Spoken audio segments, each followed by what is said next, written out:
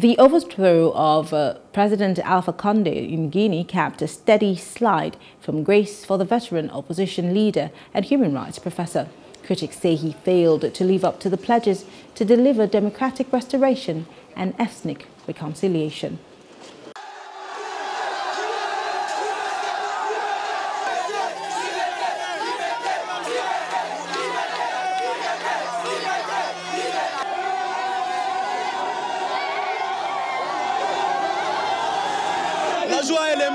The joy is at its maximum, my brother.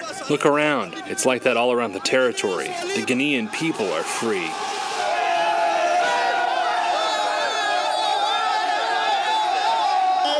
It's a victory for the Guinean youth in general. We are really happy. We say well done to the Guinean army, to the special forces.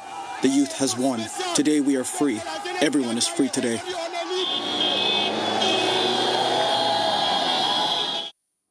Hello. Hope you enjoyed the news. Please do subscribe to our YouTube channel and don't forget to hit the notification button so you get notified about fresh news updates.